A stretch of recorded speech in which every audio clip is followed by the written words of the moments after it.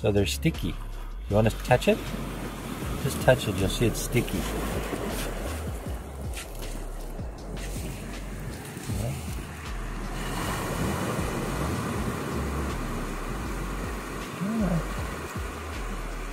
It toes up to protect itself. Oh. Oh. at That little stickiness. Uh huh. If little tiny, tiny animals walk across it, they get stung and it uh, paralyzes them. And then they, they, they bring them into their body like that and eat them. I see. Oh, okay.